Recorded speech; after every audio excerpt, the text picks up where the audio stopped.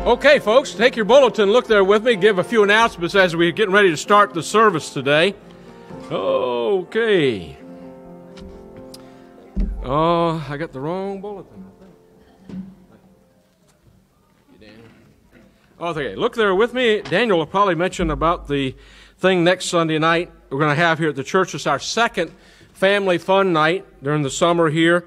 Time of fellowship and watermelon eating competition, all that stuff. He'll tell you a little more about that.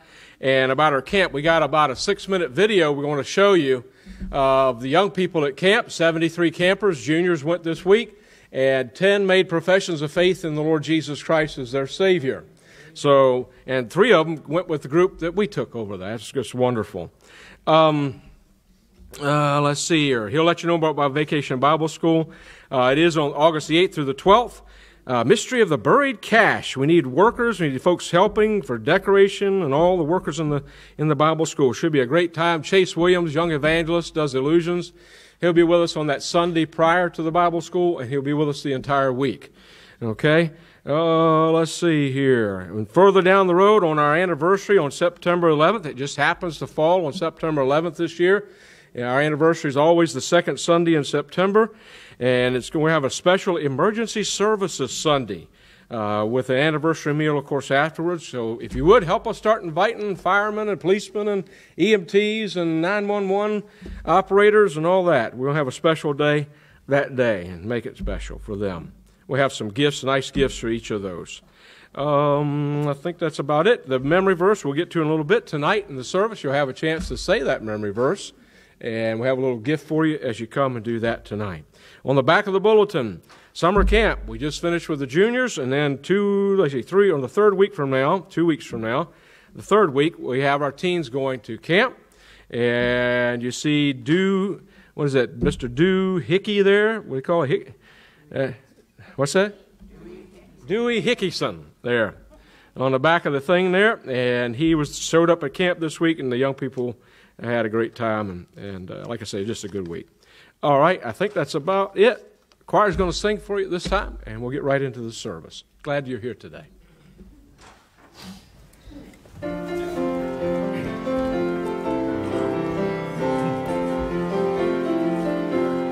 I got so much to thank Him for, so much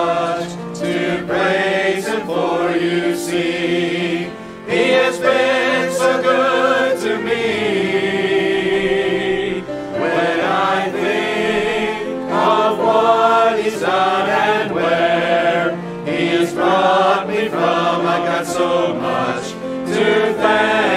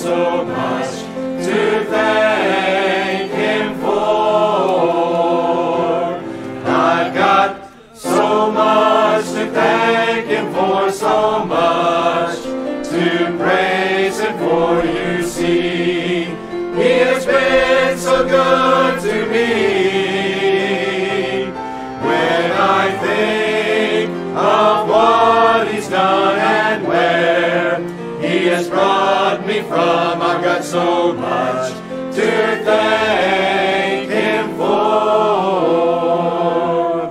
I've got so much to thank Him for.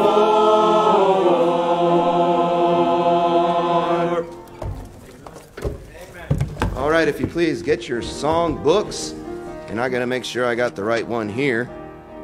And I have a song book. Turn to number 617 and stand with me, if you will, please. Number 617. And we will go ahead and sing our meet and greet. We'll sing one verse of this song and get out there and shake everyone's hands. Let them know how beautiful they are. Um, do it nicely. We don't want to lie in church, okay? So we'll come back and sing the second verse when we get back. So the first verse in number 617, great and mighty. We'll come back and sing the second verse. Here we go. Great and mighty is the Lord our God. Great and mighty is He. Great and mighty is the Lord our God.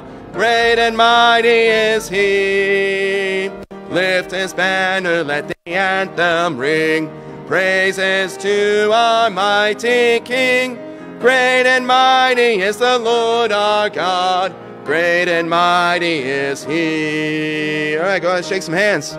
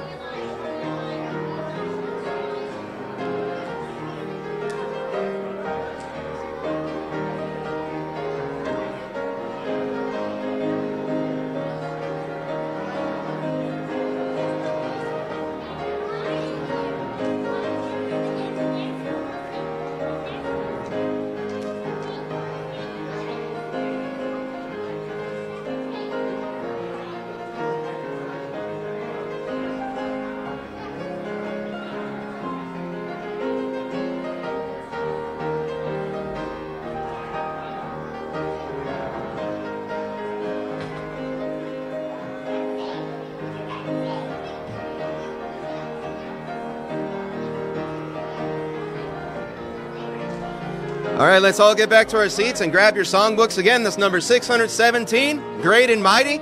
And we're going to sing that second verse. Huh? Can you hear me now? Oh, yeah. Number 617, let's get back to our seats on that second verse. Here we go.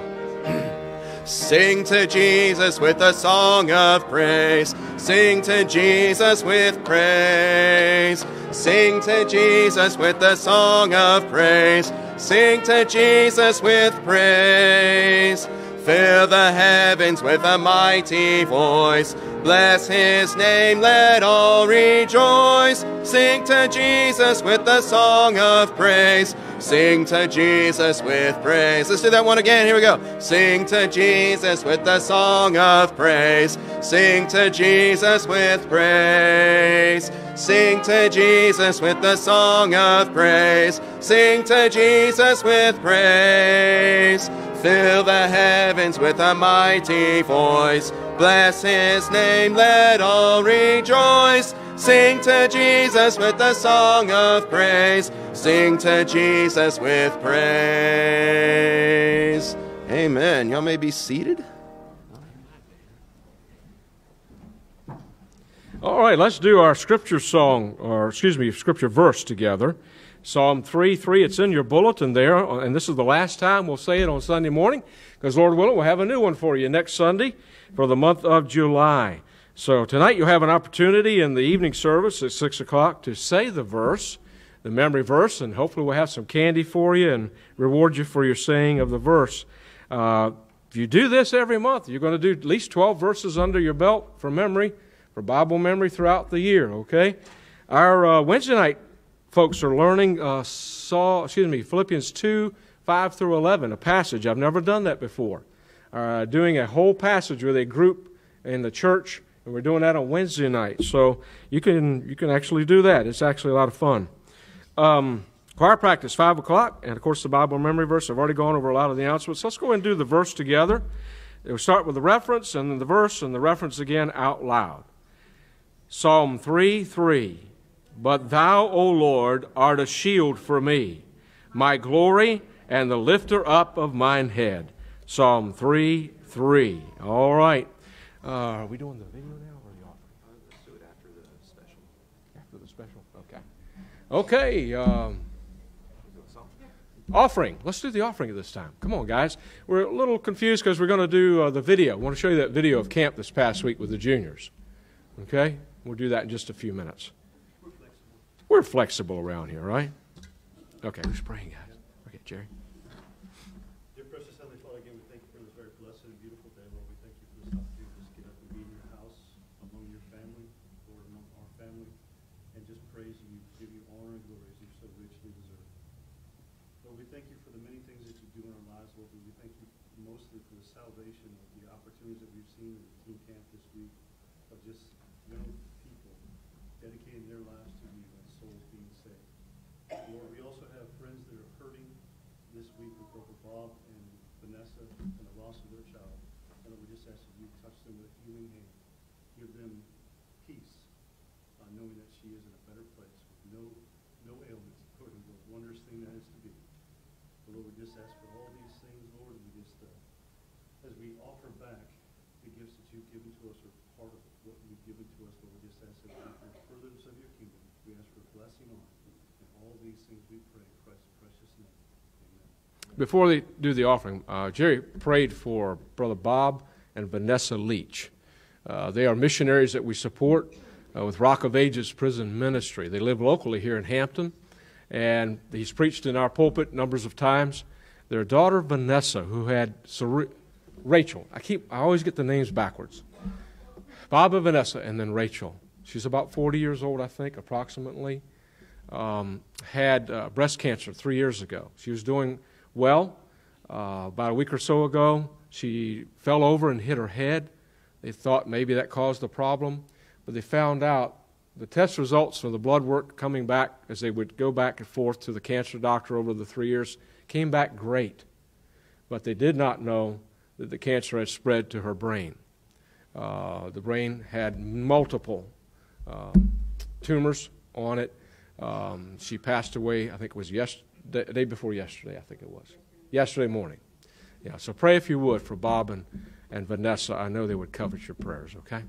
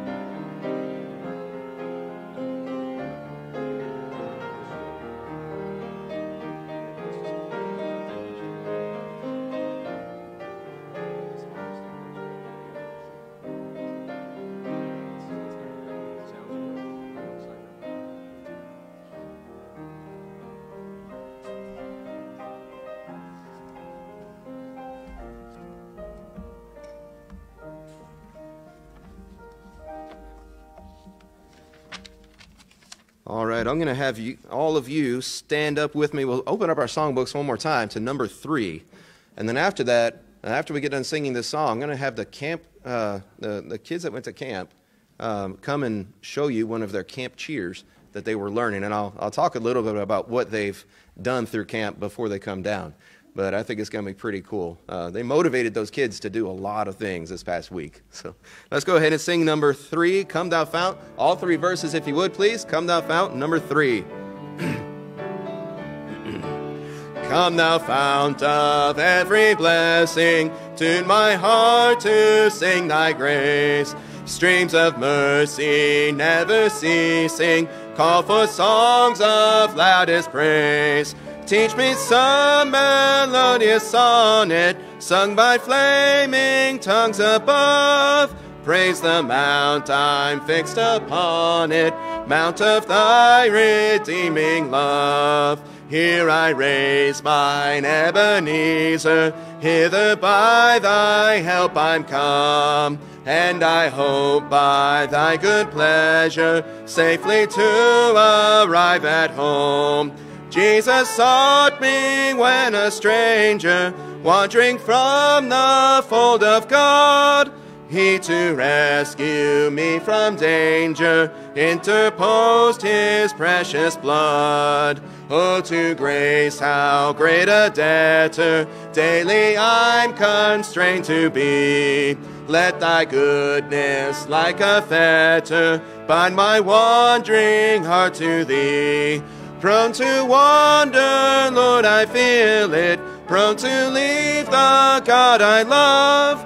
Here's my heart, oh, take and seal it. Seal it for thy courts above.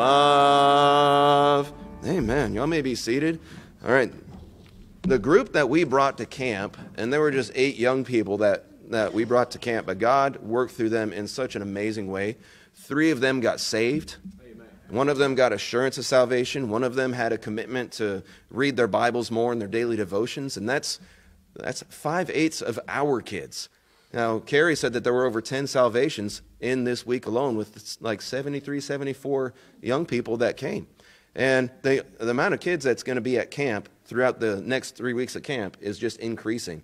We plan to go back for Teen Week 2, and that is the last teen week. I think it's like 11 through uh, 15 or 16 July, whatever that week is. I may be off of my dates by one number or so. There's already over 110 teens signed up for that week. That's going to be a lot. We're stretching those counselors to the max. I'm, interested, I'm interested to see what the counselors look like when I get back to camp. Because this has been a really, really busy week for them that we, that we were just at. So it's, uh, God is helping them. That is it. But God is also helping our young people. And uh, like I said about motivating the kids, they learned all kind of cheers to help them stay excited. And when they're excited about doing the cheers and excited about playing the games, they were even more excited about learning their verses and uh, learning the Bible and listening to the preaching. Our speaker, we're going to show a couple of clips in in our video here. He did an amazing job relating to, to our young people on their level. And uh, it's going to be funny. I'm not going to give away any secrets on this. Uh, y'all laugh. It's going to be good. But let's have our, our young people that are uh, here right now that went to camp, if y'all could come down here uh, right in front of this little table, and they're going to sing one of their red team camp cheers. And after that, um, we're going to have our special after the kids do their cheer. Which team won this week? Red team. All right. And what you know, all the kids here are actually on the red team, so we're not going to have any confusion as to blue people singing red cheers, okay? All right, now we got uh, a red team in training right here. Cheetos. All right, Tristan, you want to lead them? Team is hot like a spicy bag of Cheetos. We'll make you pop like a cannon of potatoes. Burning fire super spicy like a gun and icy. We are what? Red hot. We are what? Red hot. Cheetos. Cha cha cha Cheetos. Red hot. Cheetos. Cha cha cha Cheetos. Red hot. All right, let's give a round of applause for our kids. oh, it's, it's something to hear like 40 young people screaming that at the top of their lungs. It's kind of cool. All right, so now we have a special, and then we're going to have a video right after that.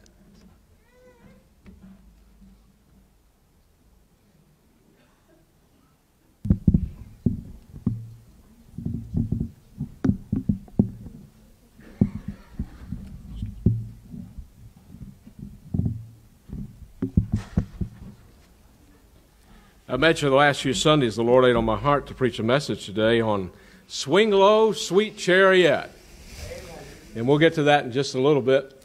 This is a song I heard many years ago, and, and when I was in Bible college, a young lady got up and she sang the song. Her name was Gail Wright at the time. She is now Gail Hall. Uh, she married a Horatio Hall, and they pastor in Chesapeake, Virginia, matter of fact. And they're friends of mine and known for many years. But Gail would get up and she'd sing this song.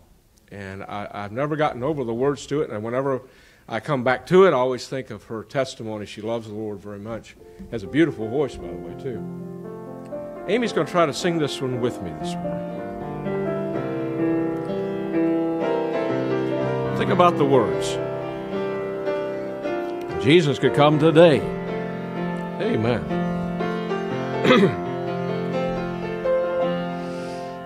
My Lord will come. It may be soon.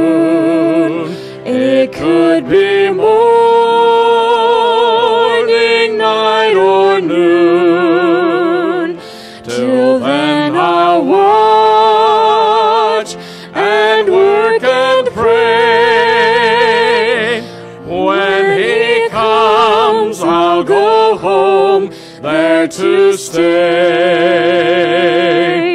Maybe today my Lord will come for me. Maybe today my Savior I shall see.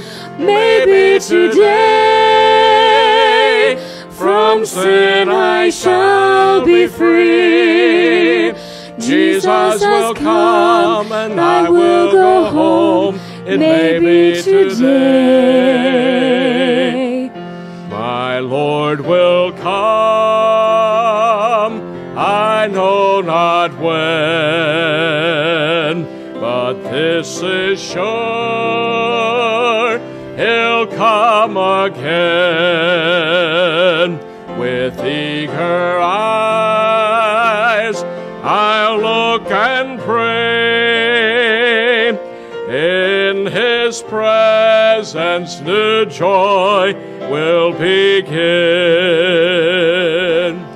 Maybe today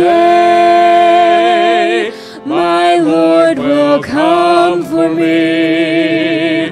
Maybe today my Savior I shall see. Maybe today from sin I shall be free. Jesus will come and I will go home. It may be today. We'll sing his praise forevermore.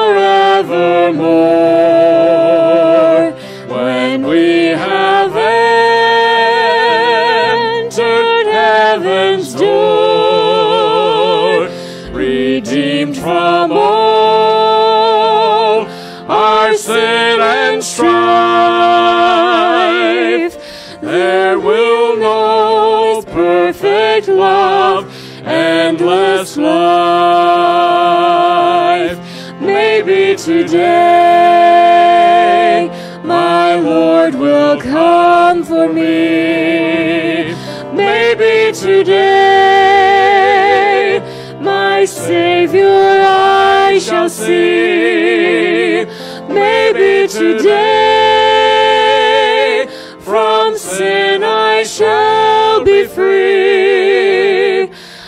Jesus will come and I will go home. It may be today. Jesus will come and I will go home. It may be today.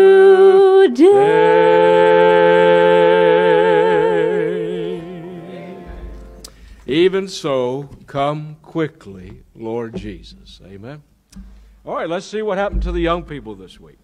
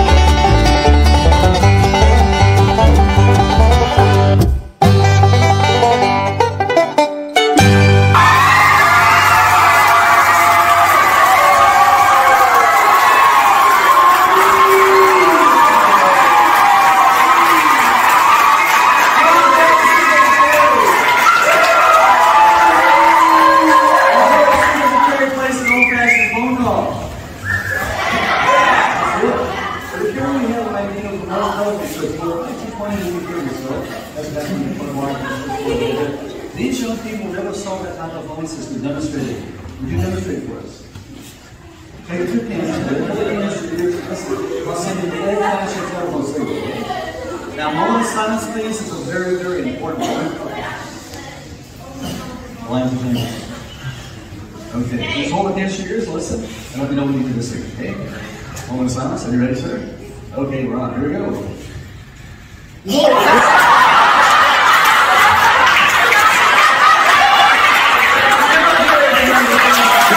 You understand? I stand under. You understand? One, two, three. Oh, yeah, yeah. Where were we? You had a very important announcement to make? Oh, yeah, yeah, yeah. Uh, do you, uh, you guys know Katie Graves? Where's Katie Graves? You see somewhere. There she is. Stand up, Katie Graves, please. Okay, there's Katie Graves. What about Katie Graves? Well, she I are getting married.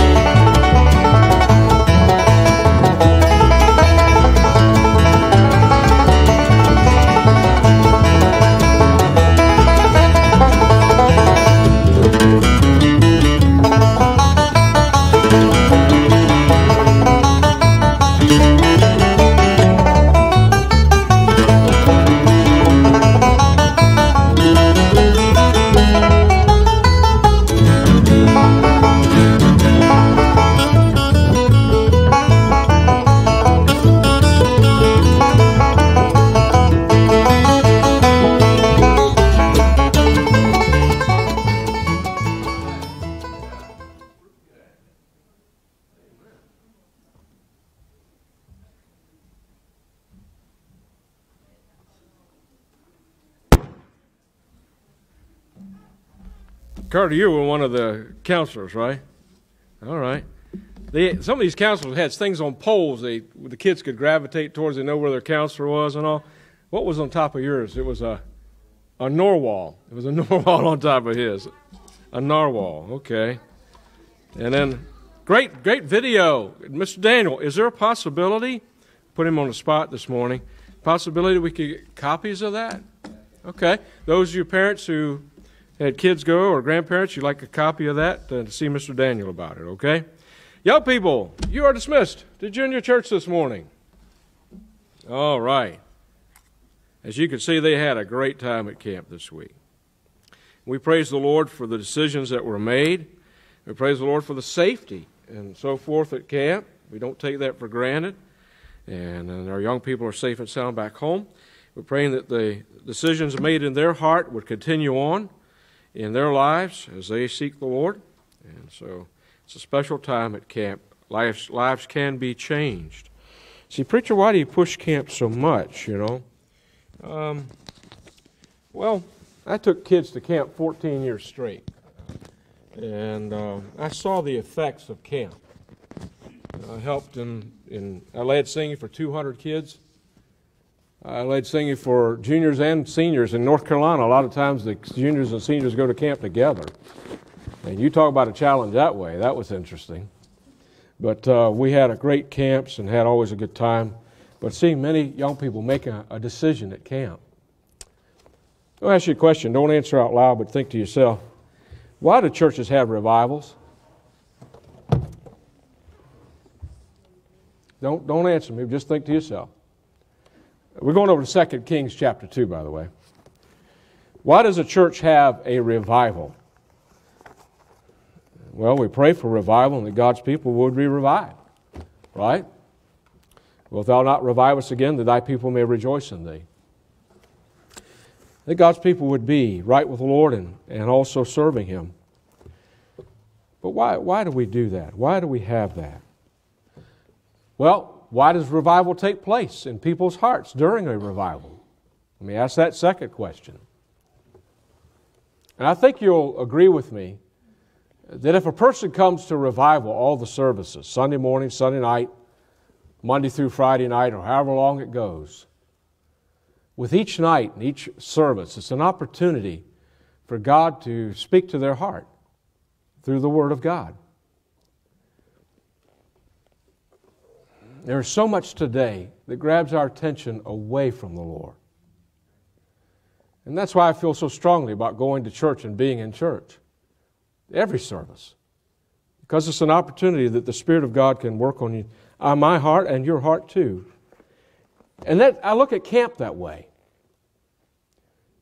Just as a revival or missions conference is a concerted effort or a concentrated effort to get more of God's Word in our hearts and what we are to be doing for the Lord and living for Christ. And camp is just like that. I don't know how many chapel services, Carter, how many did they have each day? Two? Two services, and then they had God and I time, no doubt, with the kids, and they get alone in their Bibles and they have devotions, and the counselors talk to them, and they have questions and all. You got a concentrated effort every day. That's why you see more people getting saved that way. I may be wrong, but I don't think I am in this. The more we get our young people and adults, that's why I, I stress adults, you need to go over to the camp, go to some of the retreats they have. Because in that, those retreats, you'll be able to be with other brothers and sisters in Christ, even beyond what you see here, and be able to strengthen and challenged by the Word of God in your life. So I don't just stress camp, just go have a good time. I believe it can be a good time spiritually, and that God can draw us closer to Him. And that's what you're seeing in the lives of young people. And praying even so, we've seen it in our guys. I know our guys went over to the men's prayer advance over there. Our guys came back fired up about serving the Lord and living for Christ more. So that is possible. The more we get folks around the Word. So let's go to the Word. 2 Kings chapter number 2. Look there with me in verse number 9. This is the story of Elijah getting ready to go up into heaven by a chariot. And my title is Swing Low, Sweet Chariot, as the old song goes. How many of you heard the song Swing Low, Swing Low, Sweet Chariot? Raise your hand if you would. Okay, many of you. Good, good, good, good. You're familiar with the song, most of you then. Um, it's simply talking about the fact that we're hoping and praying that Jesus would come today. And we want that chariot to descend, if you please. Look at the story here. The, Elisha and Elijah, Elisha is the protege after, uh, excuse me, there's one following Elijah. And Elijah's getting ready to go, to back, go up to heaven. And he's going to go by way of a chariot. And he's not going to die. There only, there's only one other man in the Bible that went up to heaven without dying, and that was, of course, Enoch. Unless you count Paul with his, with his vision of going up to the third heaven and coming back down, but he didn't stay. Uh, but Enoch would be the other one. But Elijah is the one here. Look at verse 9. And they're walking along, these two preachers, and uh, Elisha is going to take over after the ministry of Elijah is completed. And it came to pass when they were gone over that Elijah said unto Elisha, Ask what I shall do for thee before I be taken away from thee. And Elisha said, I pray thee, let a double portion of thy spirit be upon me. If you study Elijah's life, you will learn that in Elijah's life, Elijah did a lot of miracles. God did a lot of miracles through his life. But as you see here, he's getting ready to go up to heaven, and Elisha is going to take over. If you study Elisha's life, we have recorded twice as many miracles in Elisha's life as were in Elijah's life. He got the double portion. He goes on in verse 10 and he said, Thou hast asked a hard thing. Elijah speaking to Elisha. Nevertheless, if thou see me when I am taken from thee, it shall be so unto thee. But if not, it shall not be so. Verse 11 And it came to pass as they still went on and talked, that behold, there appeared a chariot of fire and horses of fire, and parted them both asunder, and Elijah went up by a whirlwind into heaven. I often wonder now, is the rapture going to be almost like a whirlwind going up to heaven? I don't know if we'll have chariots coming down, but I think it's a, this is a fantastic uh, type, typology in the Old Testament of you and I, if we're saved, going up to heaven when Jesus comes. And I'm looking forward to that day. I hope you are too. Um, this is what we call the rapture of the believer, the snatching away, the going up to heaven. Uh, some golden daybreak Jesus will come, as the song goes. Unto them that look for him shall he appear the second time, without sin unto salvation. I want to go over just a few thoughts, and then I want to finish up the message with some personal heart things related to Jesus coming again, okay? All right? Why I really want to see him come. But hang tough. I'm going to give you the foundation of this thing called the rapture. Go over to 1 Thessalonians chapter 4 with me. What are we talking about when we call it a rapture uh, of the believers, of the church, in this church age, definitely? And those who are in uh, cemeteries and the ground are going to be caught up to be together with us in the air. The first, uh, the second coming really is in two phases, ladies and gentlemen. One, it's called the rapture. And then the church is taken on up as it meets Christ in the air. We're in 1 Thessalonians chapter number 4. You might hear this passage read a lot at a, si- a graveside service or in a funeral service. And it's very comforting. That's why we read it. Uh, Jesus Christ had come and he taught, and he said these words said, I am coming again.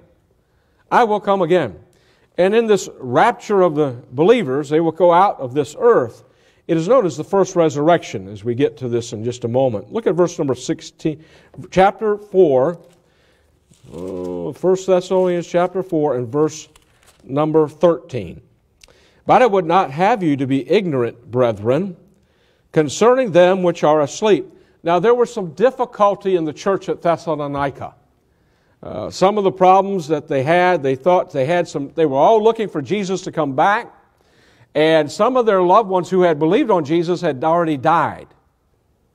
So they're concerned will our loved ones miss their part in this kingdom that Jesus spoke about and Paul preached about? Are they going to miss their part in this? And Paul writes this to comfort them to say, no, you're not going to miss it when Jesus comes. But I would not have you to be ignorant, brethren, concerning them which are asleep, those who have died in the Lord, that you sorrow not, even as others which have no hope. That doesn't mean a believer doesn't sorrow when a loved one passes. But we sorrow as, not as one that has no hope, like a lost person. For if we believe that Jesus died and rose again, and we do, even so them also which sleep in Jesus will God bring with him. For this we say unto you by the word of the Lord, that we which are alive and remain unto the coming of the Lord shall not prevent or precede or go before them which are asleep, those who are in the graves. For the Lord himself shall descend from heaven with a shout, with the voice of the archangel, and with the trump of God, and the dead in Christ shall rise first. Uh, 1 Corinthians tells us it's a twinkling of an eye, a split second, even split even further. Okay? With the voice of the archangel and with the trump of God, and the dead in Christ shall rise first. Then we which are alive and remain, those of us, if Jesus came at this very moment, if we are alive, when he came, we shall be caught up. And that's where we get the word rapture from. What is the rapture? Uh, this resurrection, Jesus uh, says that he will catch us up. Uh, it is the Greek word harpazo. Simply means to be caught away quickly or to be seized, get this, by force. To be seized by force. There are only four other times in the New Testament this word is used in, this, line in the Greek language. One is where Philip is witnessing to the Ethiopian eunuch. The Ethiopian eunuch gets saved, and the Bible talks and says he was caught away. Philip was caught away. It's the same word we get rapture from to seize away, to snatch away, if you please. Uh, Acts 23.10, the soldiers there um, Paul has been preaching, and now he's going to have to go to jail, and the soldiers are coming, and the Bible says to take Paul by force. Listen, listen to what the meaning of the word means. We just think, okay, I'm going to go up in the air, and that's it. But this is going to be a very snatching away, if you please, or seizing us by force. For some of us who are bigger than others, it may take a little bit, a little bit faster, but God will seize you, and like me, and you will go up. You had to go there, didn't you, preacher? Okay. Uh, the feeding of the 5,000, John 16, 6 15. The Bible says when Jesus had done what he had done with the feeding of the 5,000, men came to take him by force. It's the same word in the Greek language, harpazo, that means a, sne- a seizing, a snatching away. These men at that time were trying to take Christ and make him set up his kingdom at the moment. The last time, the fourth time in the New Testament, is found in 1 Corinthians 12 2, and it says, When lost, we were carried away unto these dumb idols. Notice, before we were saved, our, our, our inclination was just carried away to worship that which is not true, not God. This is a snatching away or seizing, if you please. And this is what the word means. The Bible says, 1 Corinthians 15, don't turn there, please. Behold, I show you a mystery. We shall not all sleep, but we shall all be changed. In a moment, in the twinkling of an eye, at the last trump. For the trumpet shall sound, and the dead shall be raised incorruptible, and we shall be changed. Talks about us being changed. Who's going to be raptured? Only the dead in Christ who have believed will be raptured. Only those who remain.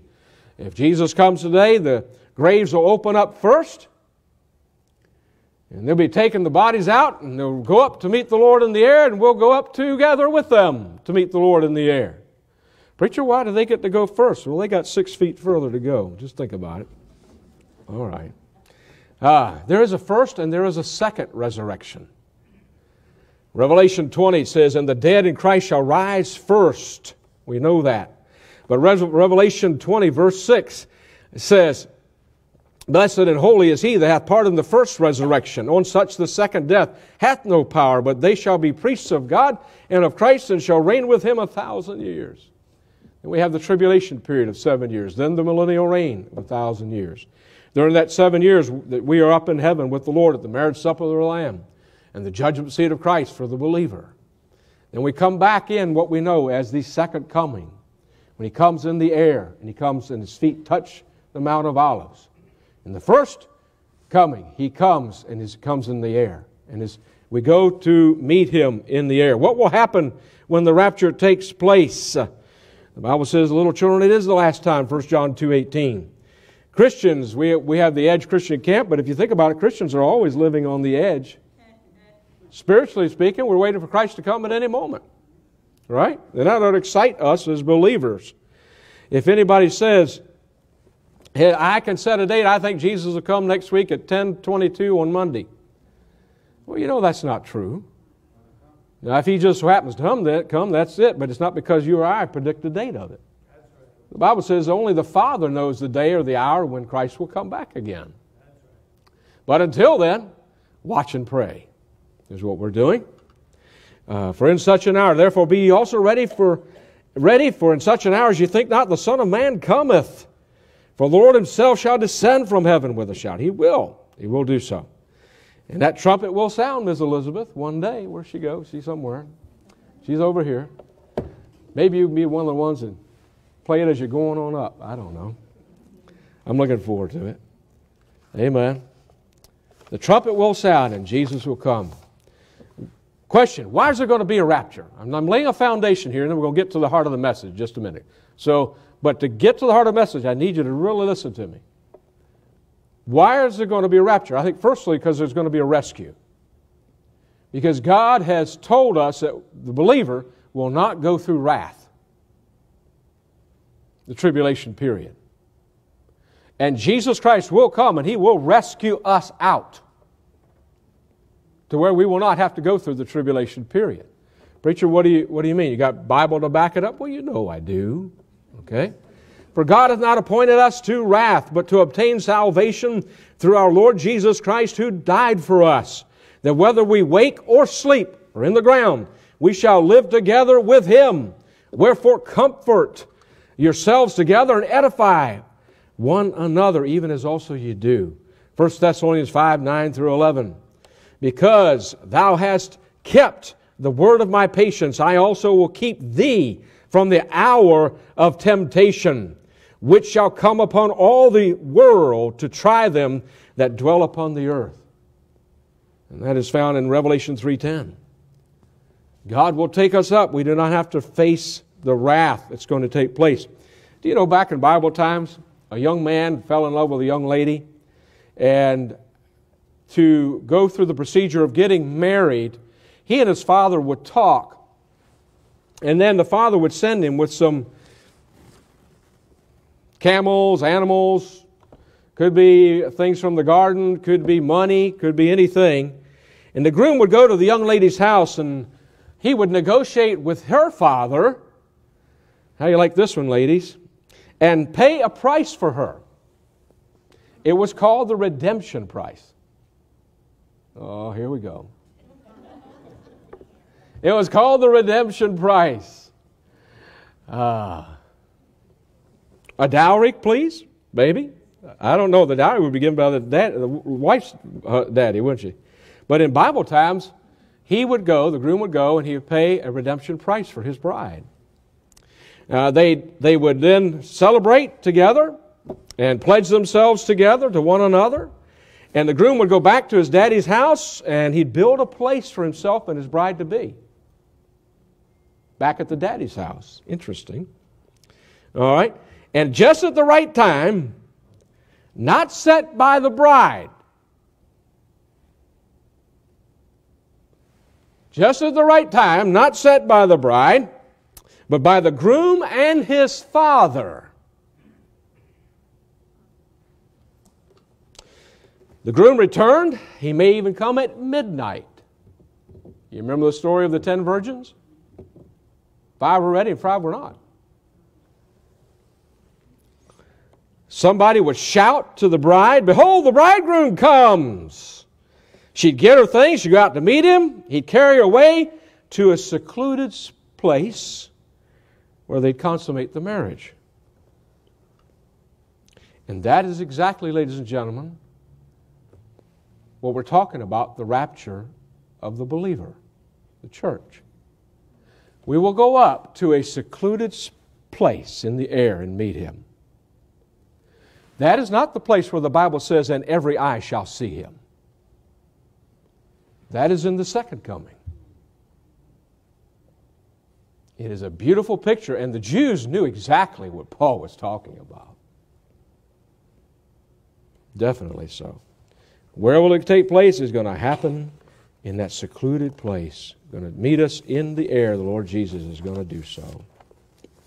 All right, I said I'd give you just a few thoughts here. Okay? I want to point out just five reasons uh, why I do long for Jesus to come. First, number one is simply this I'm going to be, and if you're a believer, you're entering in with what I'm saying. I'm going to be delivered from this old sinful world. The more I have to fight the battles of this life and the flesh and all the other things and the battles of the world and the devil, the more I long for to be in heaven and it be over.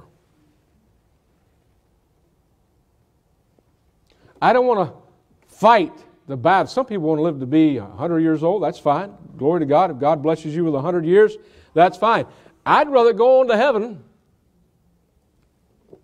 That's me. I don't want to have to live under the duration of the curse of this earth of sin. I want to be delivered from this sinful world.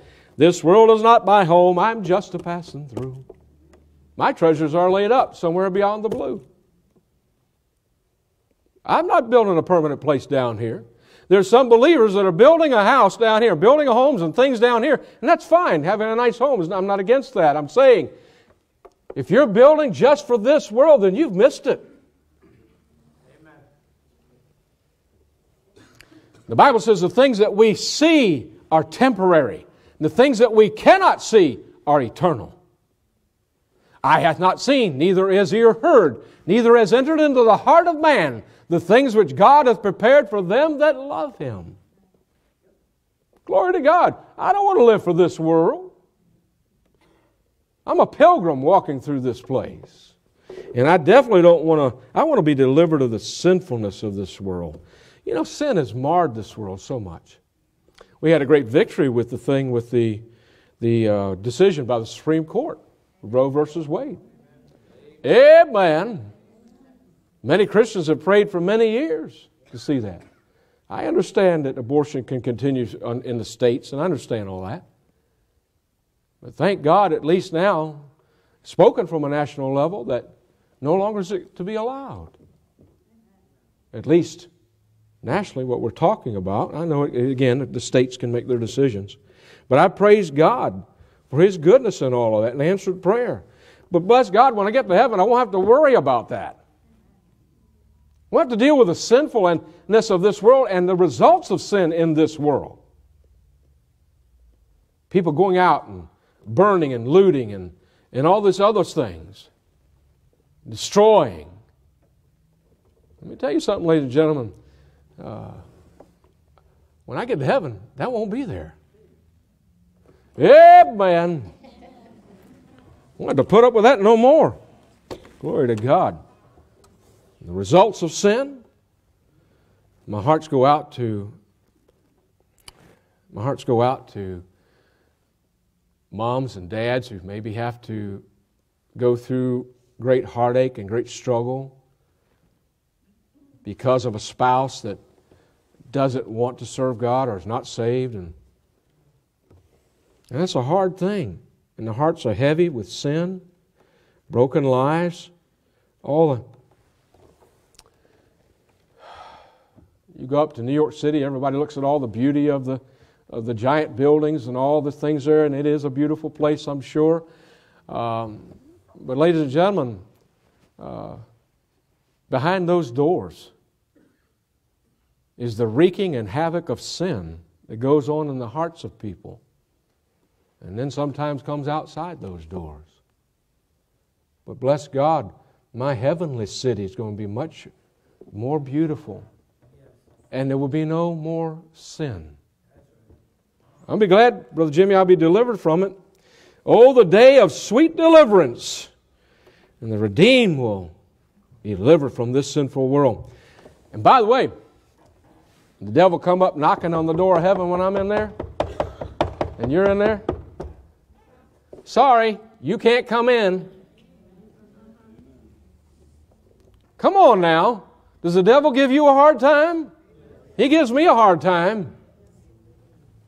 When I get to heaven, he will not be allowed in. Hallelujah. He will not be allowed in. Glory to God to live a life without Satan, his temptations, and his evilness. Ah, once inside the eastern gate, we can say goodbye to the devil in heaven. It's called a vale of tears down here. The longer I stay here, the more anxious I long for Jesus to come with sweet chariot. Come on down, Lord. Take us on home. The second reason is simply this I want to be delivered from this sinful nature that's inside my body. Do you have battles? Do you have struggles with your nature, your sinful nature? I guarantee you, you do. And if you're a saved person, you got it even worse. Lost person, they, that's all they do. They just go and follow their evil nature, the carnal nature, the Adamic nature of Adam. You and I, we're trying to fight against that because we know it will hurt us. We try to protect our children from that which is evil because it's a sinful nature, it's a wickedness. We don't want that. We don't want to conquer. We don't have let it take over our lives. We one of these days, bless God, I won't have to deal with that anymore. Amen. Every last one of us got corrupt natures living inside of us. Paul said this, For I know that in me, that is in my flesh, dwelleth no good thing. For to will is present with me. In other words, the will to do what is right is present with me. But how to perform that which is good, I find not. Now, if I do that, I would not. In other words, if I sin and I don't want to do that, it is no more I that do it, but sin that dwelleth in me. O wretched man that I am, Paul said. Who shall deliver me from the body of this death? What's the next verse? I thank God through Jesus Christ our Lord. I have that battle every day of my life. You do too. You know what I'm talking about. How are you defeating it? Jesus Christ. And one day, blessed be God, I won't even have to be around it. Won't have to deal with that sinful part of my heart anymore. The carnal nature rebels against the truth of God. It resists doing the will of God without fighting it. The flesh lusteth against the spirit, and the spirit against the flesh. It's a battle that you and I face every day. We learn daily that our worst enemy is ourself. Our praying is weak because of self. Our witnessing, our soul winning is weak because of self. Our faith is weak because of self. Our joy is diminished and we have lack of joy in our lives because of self and sinfulness in our nature and our evilness. But one day we won't have to bother with that anymore. First John says, Beloved, now are we the sons of God, and it doth not yet appear what we shall be. But we know that when he shall appear, we shall be like him. For we shall see him as he is. Number three, I want to see Jesus. I want to see the Lord. Oh, I want to see him look upon his face.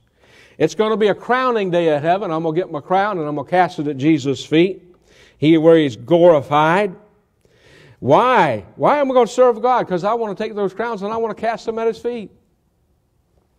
It's going to be a joyous day filled with joy unspeakable and full of glory. I kind of picture it a little bit like the they did when Jesus came riding on the donkey into heaven, I mean, into Jerusalem, and how the folks took their shirts off of the men and put it down on the ground, and how they took the palm leaves and put it down there and said, Hosanna! Blessed is he that cometh. In the name of the Lord. It's going to be a glorious day to see Jesus. It's going to be a conquering day. All the battles will be over. It's going to be an assuring day assuring that all those battles will be over. We're oftentimes frustrated with trying to serve the Lord here by our own flesh and corruption. But one day the battle be no, the flesh will be no more. And I will see Jesus as he is. I want a reunion in those days. The Bible says that when Jesus comes in the air and those in the grave go up and we're caught up with them, snatched away, seized away with them, it's going to be a reunion in heaven. I got some loved ones there. My mom and dad are over there. My grandma and grandpa on my mama's side are over there. I've got a lot of folks that I've had the privilege to know down through the years in the ministry, in churches I've pastored and places I've served the Lord in, that I love deeply. A lot of folks are in, they're from this place here. I look forward to seeing Miss Katie again. I look forward to seeing Miss Arlene again. I, I, I, look forward, some of you don't know her, Miss Owens, again. Oh, she was one of my favorites, Al. I love Miss Owens. Had the most quickest wit. Uh, I'll see all the loved ones that I have. And it's going to be a grand reunion. Do you think heaven's going to be a happy place? I guarantee you it's going to be a happy place. I get to see my loved ones all over again, friends that I've known, folks, I've, people I've led to the Lord, had the privilege to lead to the Lord and they've gone on already ahead of me? Mm. Don't tell me I'm not looking forward to that. To meet them in the air. And lastly, when the swing low, sweet chariot comes, Jesus is going to bring his reward with him. And I'm going to be rewarded for all the hours and all the time and all the labors. And you will too. All of us will. And then one day we'll cast those crowns at Jesus' feet.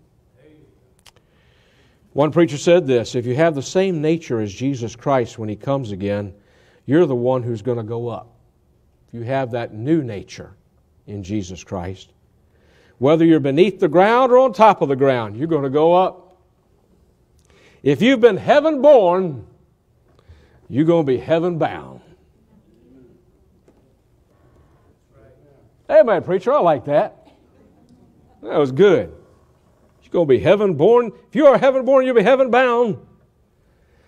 There'll be signs of the times until then. Those signs don't predict necessarily exactly when the second coming will be, but they do confirm that it will be. I like that too. I may not know the when and when Jesus is coming, but I know why. And He's coming to snatch us away. May it be so, Lord. May it be soon. Let's bow in prayer. The bridegroom will come and take his bride and take us back. And one of these days, when he comes in the second coming, we're going to come with him. Glory to God. I think I'm going to be preaching a little more and getting into the second coming of Christ. My dear friend, are you ready? Are you ready if Jesus came today? Are you ready to go to heaven? Do you know for sure that Jesus Christ is your personal Savior? Are you born again? Make sure today. We have no promise of tomorrow. Today is the day of salvation. Now is the accepted time. The Bible talks about our life as like a vapor of smoke that, that passes away. And a vapor of smoke passes so quickly away. Make sure you know Jesus now. The young people this week did so. Uh, several of them did so. One young person got saved at the last night, in the last moment there at the fireside, where the other young people started giving testimonies how they had been saved already or either got saved at camp that week. And one of those young people heard all that and at that fireside got saved. Now, we don't know when the last, when the trumpet will sound. Therefore, we need to be ready. Therefore, be ye also ready, the Bible says. Christian, are you ready if the Lord should come today? Is there something in your life that you'd be ashamed of if Jesus came today? Let's make that right with the Lord today, and let's get it right and go on serving Christ with all our heart, soul, mind, and might, and strength. Let's love God. Let's serve Him. And not be ashamed before Him at His coming. Jesus could come today. If you believe that, then you'll respond to that in your heart. Please stand.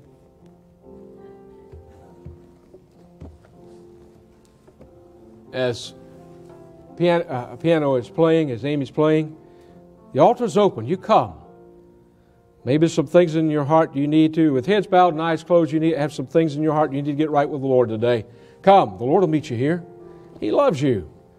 He wants you to face Him when He comes and not be ashamed before Him. He wants you to know that He's looking forward to the coming even more than we are. May God give us that same heart. If you have the nature of Jesus Christ, if you've been born again, therefore, if any man be in Christ, he is a new creature, a new creation. You've been made anew, regenerated, made anew, born again in God's, in, in God's uh, spiritual design in your heart. When you got saved, you were birthed anew. And if Jesus came, you will go. Let's look forward to it. Let's talk about it. Let's rejoice in it. Let's encourage you. Wherefore, comfort one another with these words. I didn't read it, but that's the last verse in that passage in 1 Thessalonians. Comfort one another. A lot of times we do read that at a funeral, and we do comfort one another. Well, why can't we comfort one another now? When we get together, hey, you know, I heard Jesus is coming.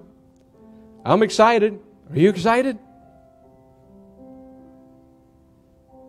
Let's live in the air of the second coming, of this, especially this rapture.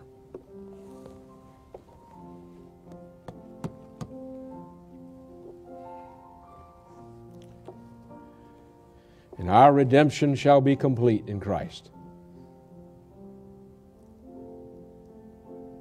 Something to rejoice about today, believer. Something to thank Jesus for. Let's thank God for His salvation and the fact that I will come again and receive you unto myself. Father, I thank you for the fact that you one day will send your Son. And one day we will hear that trumpet sound and we will go to meet you. Lord Jesus, we do pray it will be quickly, even today. In Jesus' name, amen. Five o'clock choir practice, six o'clock service. Come on back tonight. Amen.